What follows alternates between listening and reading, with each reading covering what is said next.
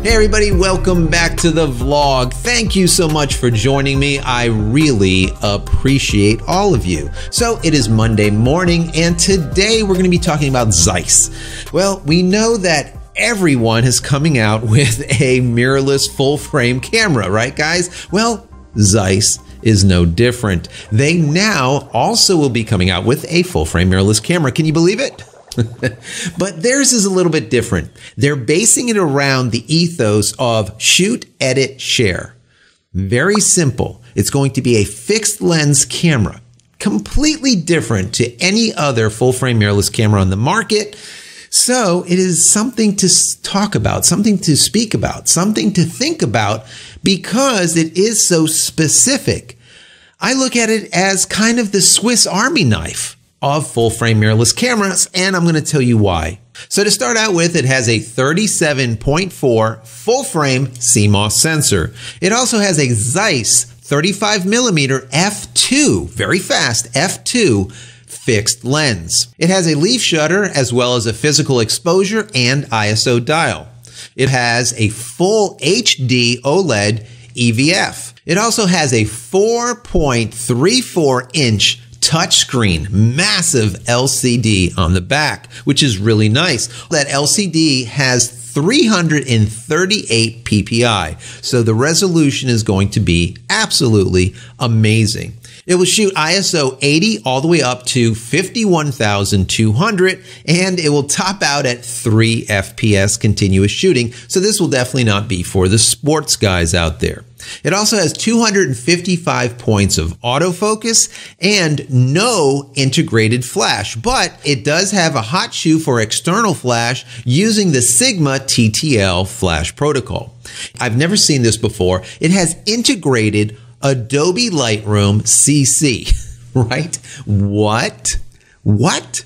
Yes, built in Adobe Lightroom CC. That means you can do your all of your adjustments to exposure, to color, you can make selective edits, you can also sync your pictures all the way back over to your PC, whatever you want to do right through Lightroom. It has built-in Wi-Fi as well as NFC and Bluetooth. So it has a ton of connectivity. Now this connectivity is going to be great for doing direct cloud you can also use it for automatic backups to like a NAS, right? So that is kind of interesting. And you can also access your images on your camera through your network. Why is this important? Well, it doesn't have two card slots. It doesn't have one card slot. It doesn't have any card slots. It doesn't like green eggs and ham either. it has a built-in 512 gigabyte SSD. So you need all this connectivity to be able to get those images off. Or, of course, you can use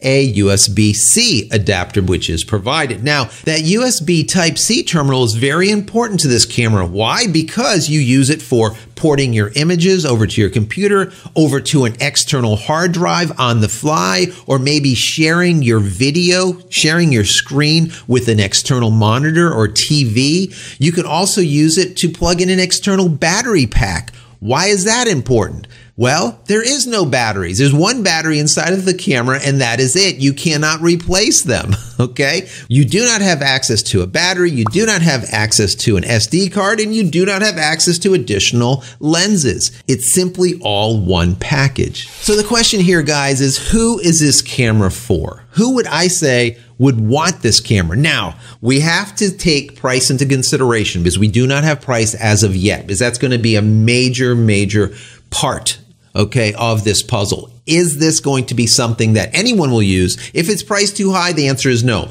But if it's priced reasonably, this could be the perfect camera, for example, a reporter or a photojournalist, right? Who needs to take a picture and immediately send it over to the command center, right?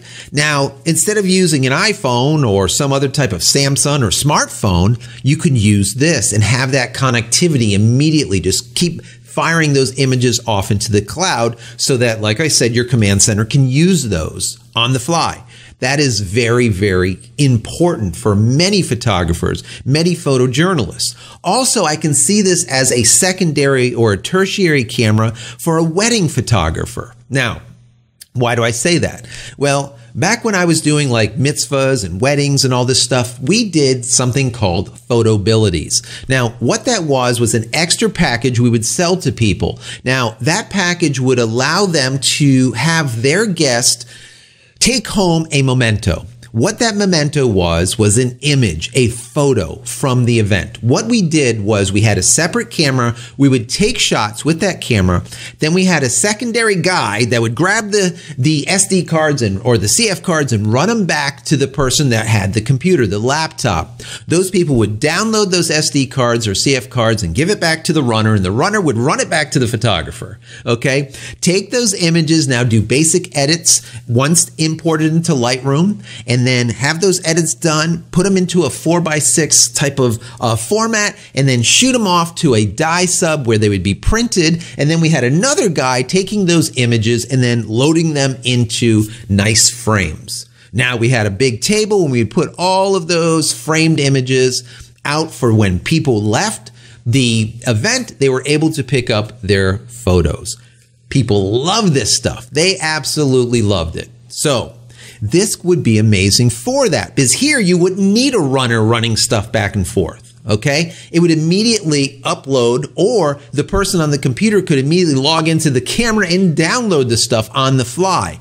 That is really great and time saving. Also, since it has built in Lightroom, you can have someone actually doing this on the side because they can make the edits and the modifications and then just take the images off and print them taking another piece of the puzzle out of the mix. Whenever you do that, as we say, time is money. And if the client is happy with that type of those shots, like I said, photabilities, I mean, this could really be something impactful, especially if it's reasonable and you can have one or two or maybe three of these going throughout an event. You can also have these things uploading into the cloud on the fly all the time. So now all of the guests would be able to access the images as they're coming out. And also any guest that was not able to make it to the event would now be able to see what was going on immediately, almost in real time. Very, very cool. So anyways, like I said, this is the Zeiss ZX1. Is it a camera for you? I don't know, but I want to hear from you. Does it sound cool? Does it sound interesting?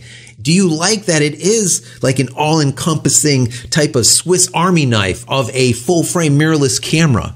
Does it have use as a purpose built camera in comparison to all the other full frame mirrorless cameras that are out there on the market now?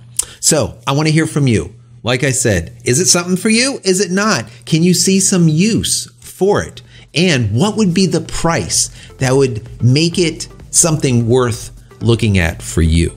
So, anyways, guys, that is it. That's my coverage for today with the Zeiss ZX1. I thought it was really cool when I saw it, and I had to share this story with you. So, as always, if you enjoy my content, please throw me a big thumbs up. That would be awesome. Don't forget to smash that subscribe button so you can get all my content when it becomes available and click the bell icon so when it is available, you will be notified of it. And finally, head over to my website, jcristina.com, where you can find all the photography tools that I've invented for you and me over the years. And hopefully, there's something there that you might like. And if there is, please pick it up and support me. That's it, guys. I'm out of here. We'll see you in the next one. Take care.